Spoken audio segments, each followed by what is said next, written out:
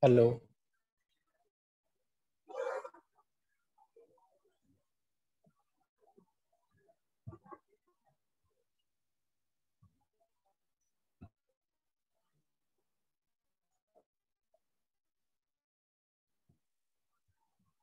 Hello. Good afternoon, sir. Good afternoon, sir. Good afternoon, sir. Good afternoon. Good afternoon.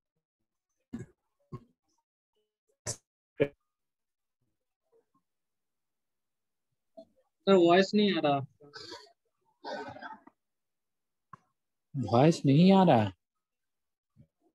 अभी आ रहा sir अब okay okay cut रहा sir अब ठीक है। अब ठीक है? Yes sir Yes. Okay okay तो आई थिंक पिछले क्लास में तुम्हारा जो ये लैब का चल रहा था ट्रांसपोर्टेशन इंजीनियरिंग लैब का तो उसमें हम लोग देखे थे कि हम लोग को लैब कैसे कैसे करना है। तो देखो, एक चीज़ और देख लो तुम लोग। ये देखो, इससे पहले तुम्हारा ट्रांसपोर्टेशन इंजीनियरिंग का सिलेबस है। फाइव मोड में उसको मतलब पाँच प्लस में उसको बांटा था। मटेरियल उसमें material use in highway construction soil, stone aggregate, bituminous binder, bituminous paving mixes, portland cement, जो भी है सीमेंट कंक्रीट उसके बाद desirable property test requirements for different type of pavement problem ये सारा का सारा चीज़ है model five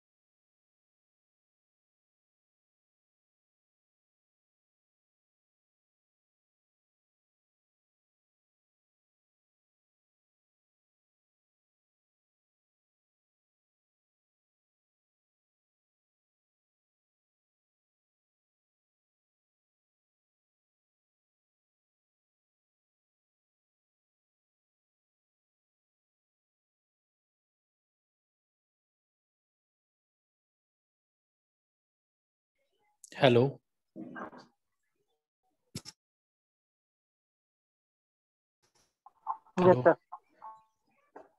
Okay okay. अब आवाज़ ऑडियो क्लियर है.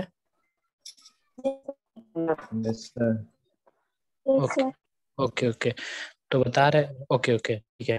तो बता रहे थे कि जब हमारा मॉडल फाइव आएगा तो पैरेलली देखते चलो कि हमारा मॉडल फाइव भी कंप्लीट होते चल रहा है।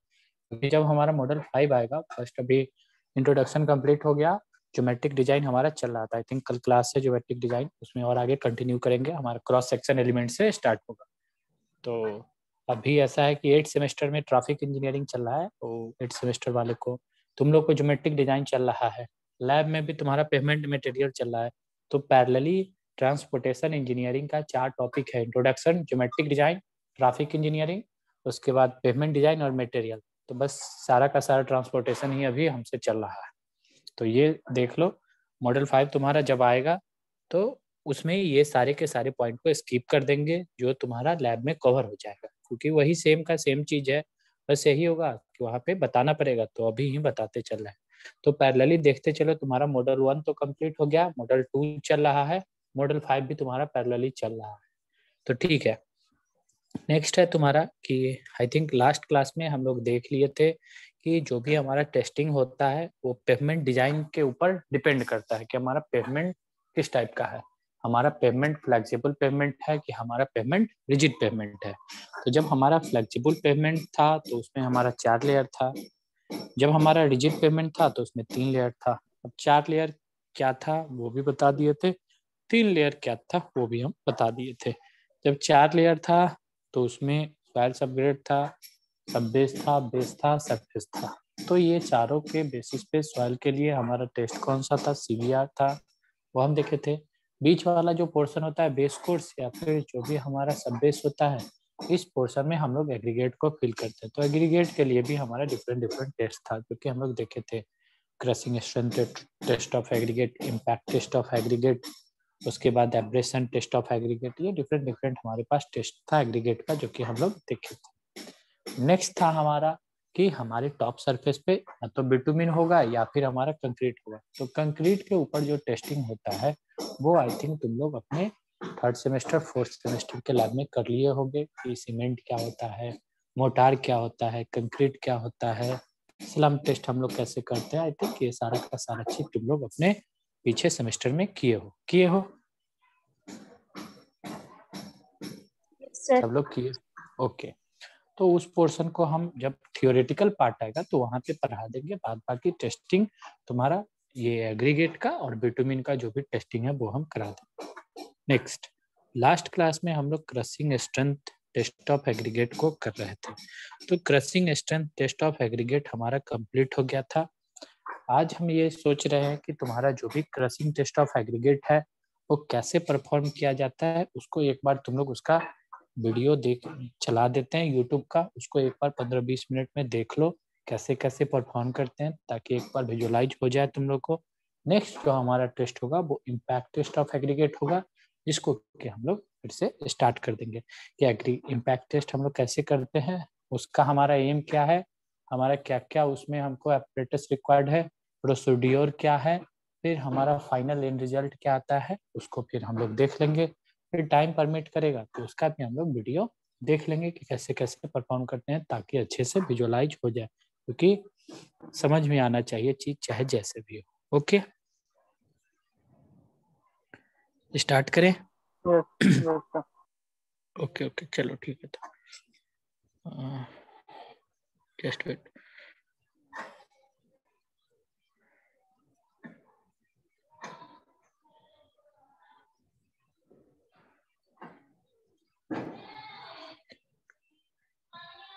Griffin test.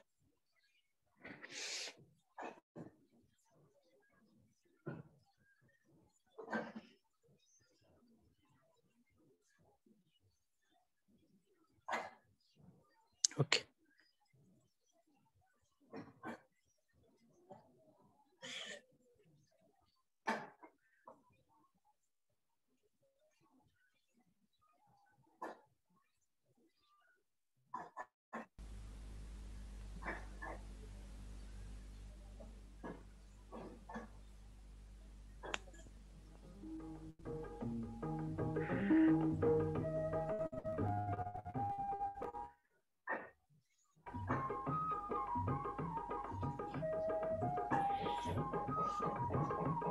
दिखाई दे रहा है सबको yes sir okay okay okay चलो ठीक है देखो sir Of the many diverse uses of aggregates, road construction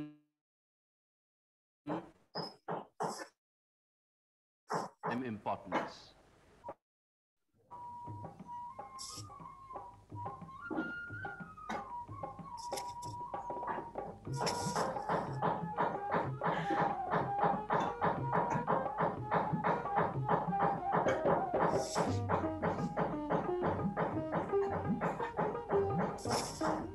Let's take a close look as to where from we get the aggregates.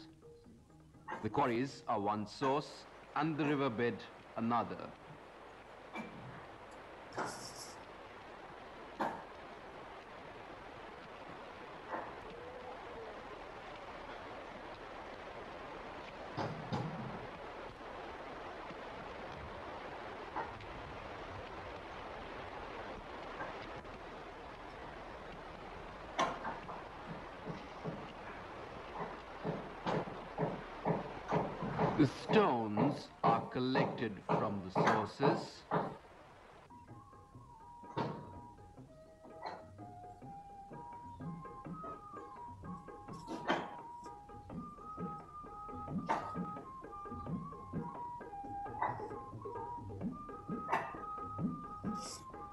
Collection, these are loaded and transported by carriers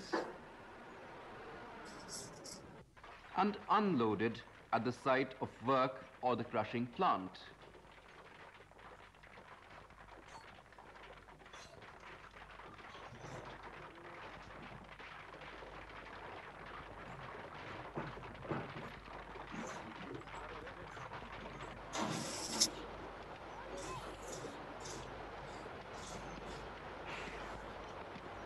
These are then broken manually or mechanically at the crusher. Bigger stones are fed into the crusher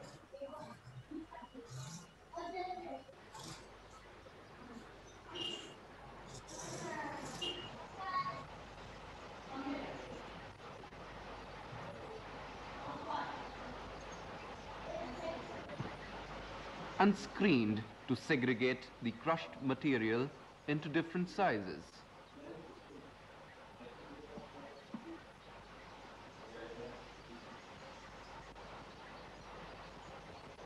The oversized aggregates are recirculated through the crusher and screens.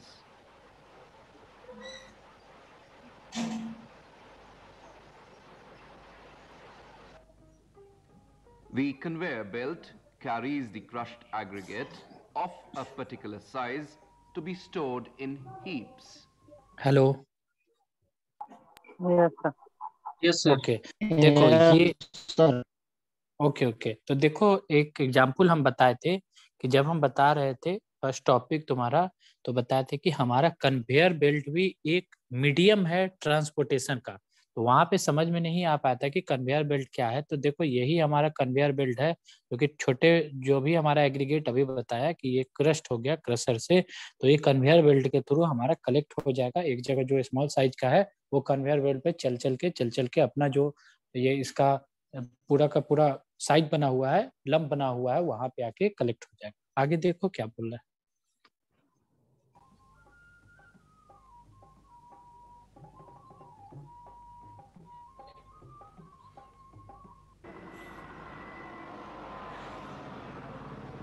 The aggregate used in road construction is invariably subjected to compressive loads due to the action of the road roller during construction.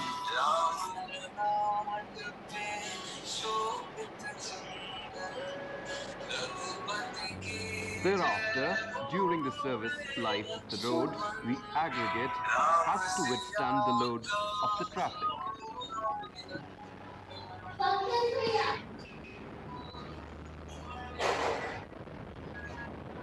The most detrimental effect is produced by the bullock carts that induce higher compressive stresses on account of less wheel contact area. देखो ये तुम्हारा bullock cart है जब एक बार पढ़ाएँगे तुम लोग को ट्रैफ़िक इंजीनियरिंग तो वहाँ पे हमारा आएगा बुल्लक कार्ट तो बुल्लक कार्ट यहाँ पे अभी हमको दिखा कि हमारा रोड था उस पे ट्रक भी चल रहा है, उस पे बस भी चल रहा है, उस पे ये बुलक कार्ट भी चल रहा है। ये सारा का सारा हमारे एक ही पार्टिकुलर रोड पे चल रहा था। हमारा जो भी रोड सिस्टम है, वो हमारा हेट्रोजीनियस ट्रैफ़िक सिस्टम है। तो इसी को हमको डिज़ाइन करना था तो हम देखे थे कि हमारा जो भी फैक्टर था, वो अफेक्ट करता था। बुलक कार्ट का स्पीड अलग है टेंपो का स्पीड अलग है, बस का स्पीड अलग है तो इन सारे के सारे स्पीड का वैल्यू अलग था, इसलिए हमको एक डिज़ाइन स्पीड लेना पड़ता था कि किसको डिज़ाइन स्पीड मानेंगे। वैसे ही बहुत सारा चीज़ हमारे रोड पे ट्रेवल करता है, बहुत सारा हमारा व्हीकल रोड पे ट्रेवल करता है, ये भी एक सवारी ही है, ये भी एक व्हीकल ही है। तो हर एक व्हीकल को डिज़ाइन पर्पस के लिए यूज़ नहीं करते तो किसी एक को स्टैंडर्ड मानते हैं। तो एक स्टैंडर्ड मानते हैं कार को, और कार को रेफरेंस मान के हम लोग आई थिंक बताए थे तुमको क्लास में। कि कार को रेफरेंस मान के हम लोग बहुत सारे व्हीकल का वैल्यू बताते हैं। तो एक जो हमारा ओरिजिनल वैल्यू होता है, उसको बोलते हैं पैसेंजर कार यूनिट और हमारा बुल्लक कार्ट के लिए सबसे ज़्यादा पीसीयू का वैल्यू होता है। तो ध्यान देना बुलक कार्ड मतलब बैलगाड़ी हो गया। अब आगे देखो। ये भी बोला कि इसका जो भी कॉन्टेक्ट एरिया होता है, वो बहुत कम होता है। ये जो बुलक कार्ड रोड पे चलता है तो कॉन्टेक्ट एरिया बहुत कम, इसका मतलब प्रेशर बहुत ज़्यादा लगाएगा। तो ये और ज़्यादा हमारा जो भी एग्रीगेट है, उसको कंप्रेस करेगा। आगे देखो क्या बोलता है।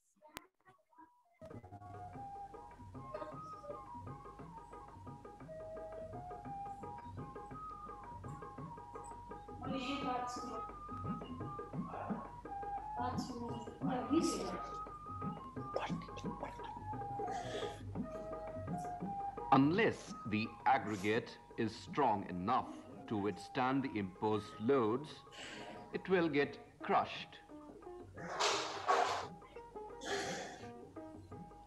resulting in damaged road surface.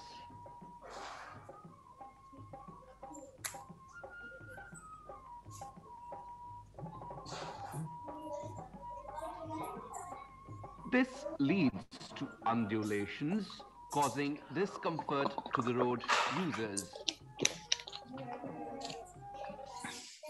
I think undulation भी तुम लोग को बताया को उबड़ खबड़ वाला सर वही ना वो? यस यस अंडुलेशन का मतलब उबर खाबरे रोड में रहता है। तो वही बताया अभी कि जो भी तुम्हारा अगर एग्रीगेट क्रश हो जाए तो वो तुम्हारे रोड में अंडुलेशन प्रोड्यूस कर देता है। अंडुलेशन यानी उबर का चलो।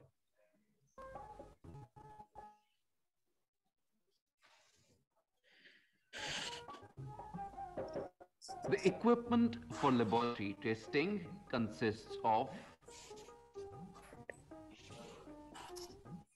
test mold with base plate, देखो जी जो भी तुम्हारा यहाँ पे इक्विपमेंट है सबको देखते हो कि ऐसा ही तुम्हारा लुकिंग लाइक होता है ऐसा ही तुम्हारा दिखता है और जो जो तुम्हारा इक्विपमेंट है उसका भी डायमेंशन तुमको यहाँ पे सब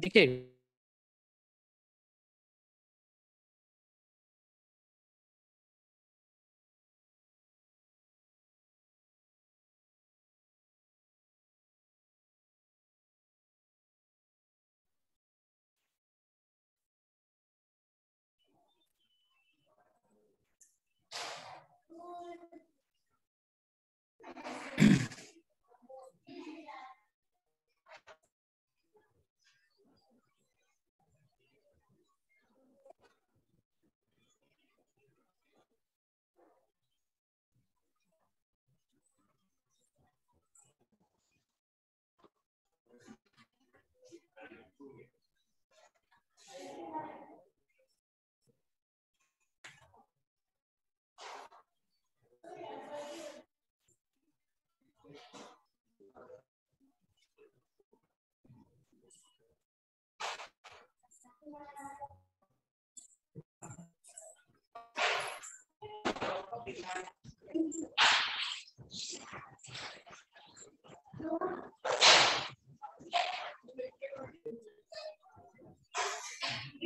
clamping rod,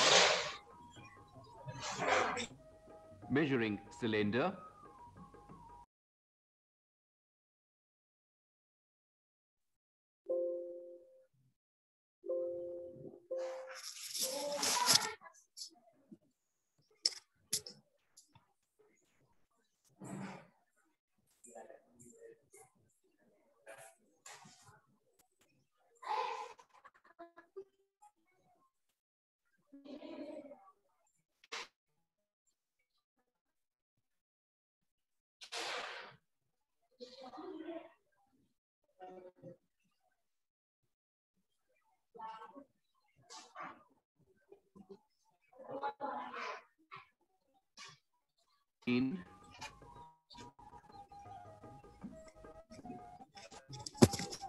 Equipment for laboratory testing consists of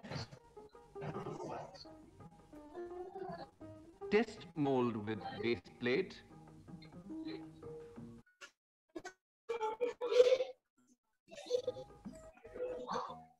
sieves of specified aperture,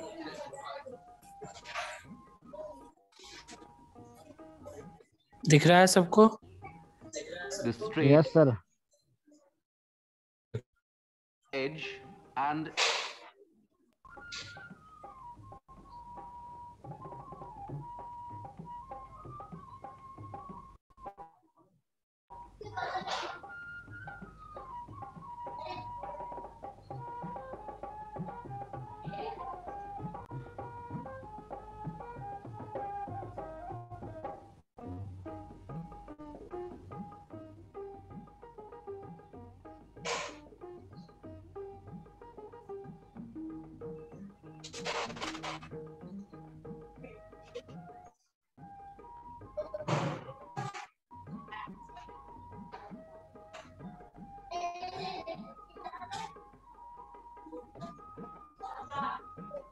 The aggregate to be tested for crushing value is taken.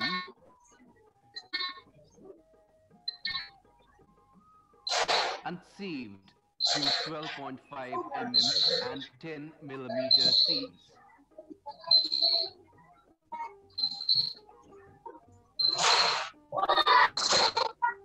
The material that passes 12.5 mm sieve but is retained on 10 mm sieve is selected for the test. The cylindrical measure is weighed empty. The selected aggregate is filled into the measure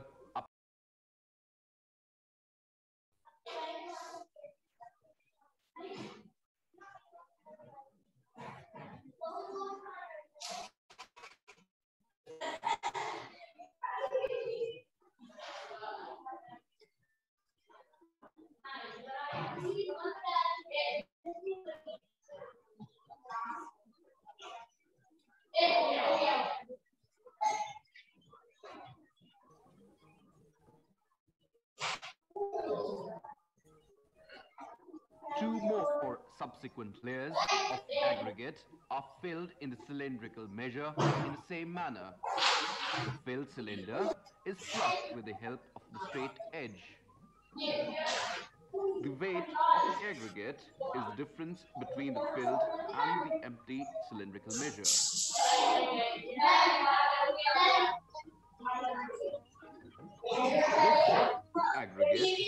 Then compacted in the test mold in the same manner as for the cylindrical measure.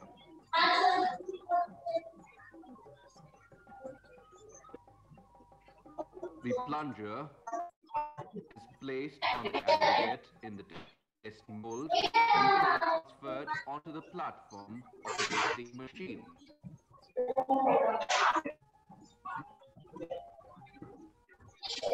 The test mold is adjusted for application load.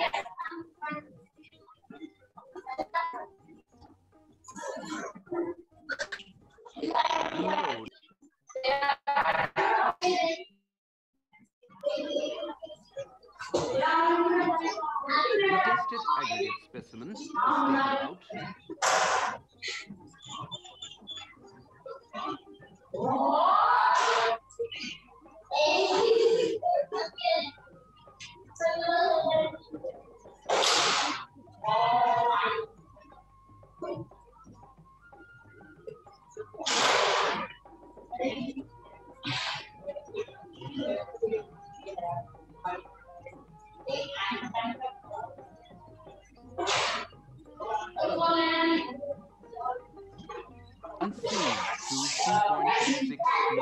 sieve.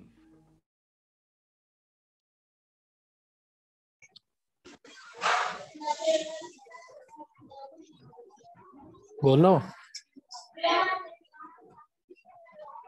Hello Yes. Yes, sir. बत- सबसे पहले क्या हुआ कि हमारा जो भी aggregate था वो एग्रीगेट हमको पता चला कि हमको कहाँ कहाँ से मिलेगा तो या तो हमको वो रिवर के बेड से मिलेगा या फिर जहाँ हमको पहाड़ पठार है, वहाँ से हमको उसको इरोड करके लाना पड़ेगा। मतलब वो स्टोन के फॉर्म में रहेगा, उसको लाना पड़ेगा। फिर या तो उसको हम लोग मैनुअली या फिर क्रशर मिल में जाके अपने एग्रीगेट को तैयार करेंगे। अब ये बताया कि एग्रीगेट हमारा कहाँ पे लगता है और कैसे अफेक्ट होता है।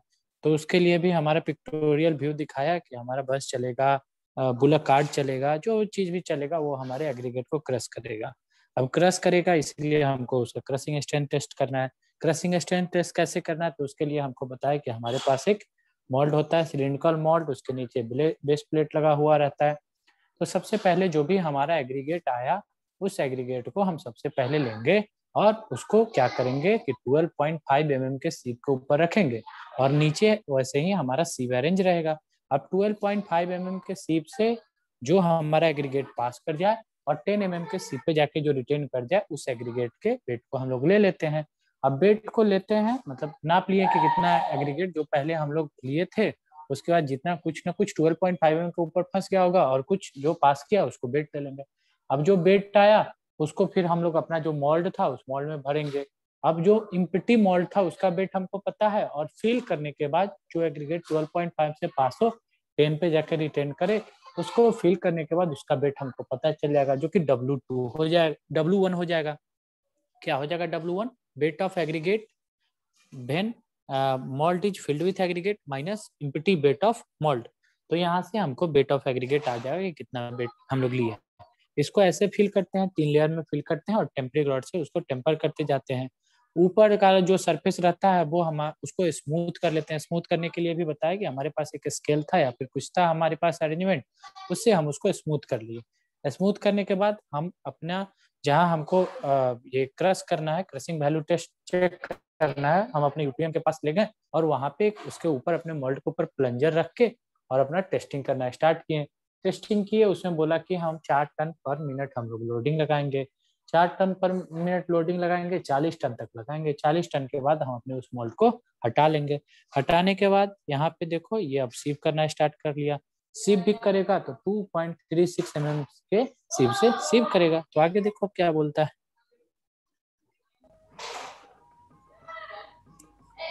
The fraction passing 2.36 mm sieve is vague.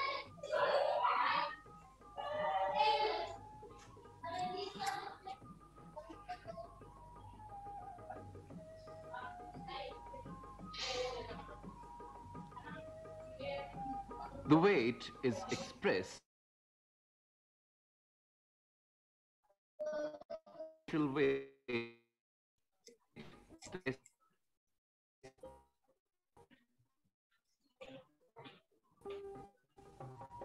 The mean of two results the nearest whole number gives the aggregate string value.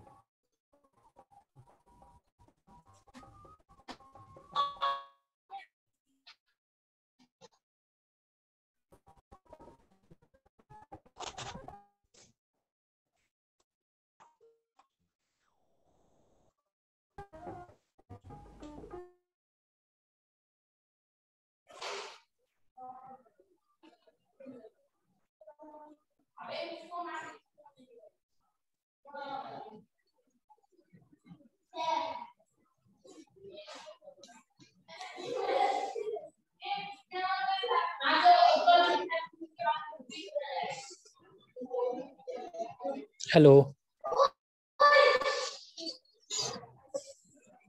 hello hello Yes, sir. Yes sir hmm तो सबको सम, सबको समझ में आ गया कि कैसे हम अपने लैब में परफॉर्म करते हैं? Yes sir Yes, sir.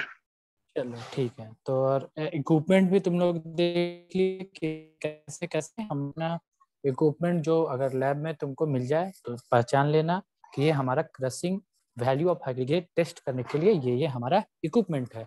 तो आई थिंक अच्छे से तुम लोग को सबको क्लियर हो गया ये test aggregate crushing strength test, और ये भी बता दिया कि कैसे हमारे एग्ज़ाम में इससे क्वेश्चन पूछता है कि crushing aggregate crushing strength test हमको क्या बताता है? हमको अपने एग्रीगेट के स्ट्रेंथ को बताते हैं, कौन से स्ट्रेंथ को? क्रशिंग स्ट्रेंथ को। आईआरसी भी हमको पर्टिकुलर रेंज दे रखा है कि किस किस रेंज में हमारा वैल्यू होना चाहिए। तो आई थिंक उस वैल्यू को भी तुम लोग याद करना। और हमारा जो कोड था I S I think two eight six three ये हमारा कोड था या फिर टू फोर सिक्स थ्री जो भी था, उसको, उस कोड नंबर को याद रखना। तो हमारा पहला जो टेस्ट था एग्रीगेट का, वो हमारा हो गया कंप्लीट नेक्स्ट टेस्ट हम लोग देख लेते हैं इम्पैक्ट टेस्ट कि हमारा एग्रीगेट का इम्पैक्ट टेस्ट क्या होता है। इम्पैक्ट टेस्ट से हम लोग क्या क्या फाइंड आउट करते हैं, इसका क्या क्या क्या क्या हमारा एपरेटस था। तो देखो सब लोग इम्पैक्ट टेस्ट क्या है। पहले पहुँच जाते हैं इम्पैक्ट टेस्ट में, फिर बता देंगे कि इम्पैक्ट टेस्ट हम लोग कैसे कैसे करते हैं। तो देखो।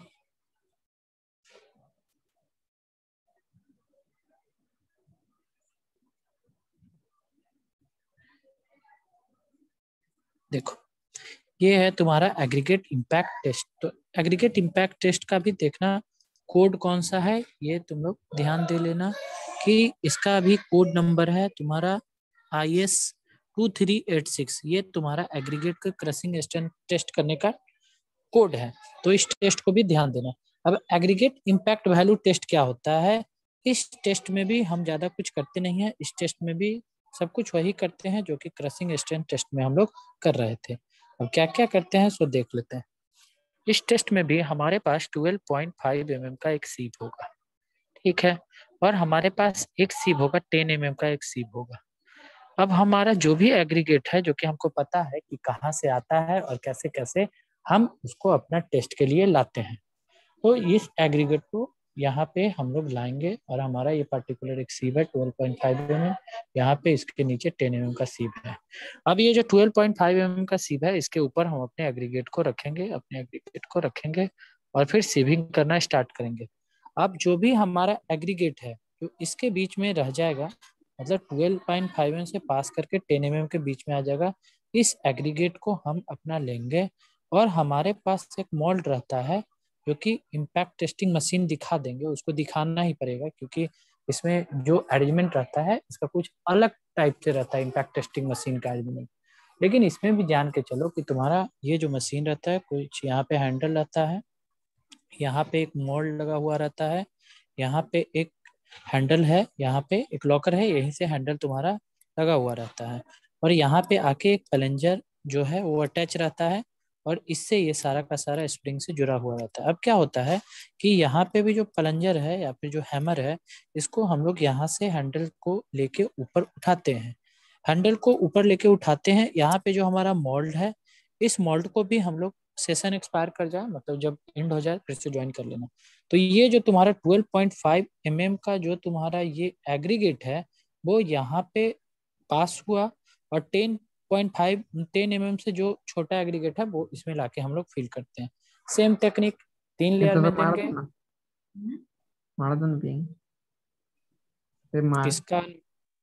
नीतीश।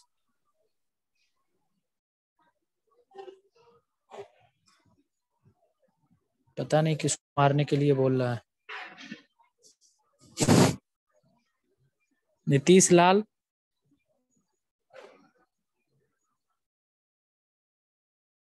चलो ठीक है। देखो, ये तुम्हारा मॉल्ड था, ये इसमें हम लोग वही जैसे कि पीछे वही मॉल्ड है, मान के चलो, जो कि हम क्रसिंग वैल्यू टेस्ट के लिए यूज़ करते थे। तो इस मॉल्ड में भी हम अपने एग्रीगेट को भरेंगे। कौन सा एग्रीगेट? जो एग्रीगेट 12.5 पॉइंट mm से पास कर गया था और 10 एम mm पे जाकर रिटेन कर गया था। तो उसी एग्रीगेट को हम लोग यहाँ पे फिल करेंगे। फ़र्स्ट लेयर में फिल करें, फिर टेम्परिंग रॉड से टेम्पर कर दिए। फिर सेकेंड लेयर में फिल करेंगे, फिर टेम्परिंग रॉड से टेम्प कर देंगे।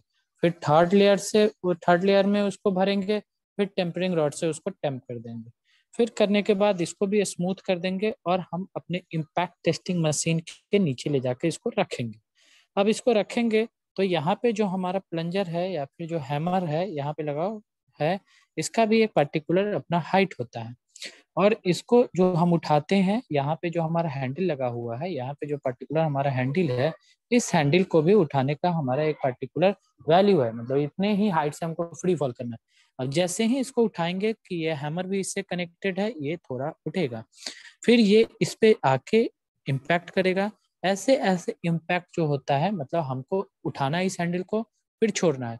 फिर उठाना है, फिर छोड़ना है, फिर उठाना है, फिर छोड़ना है।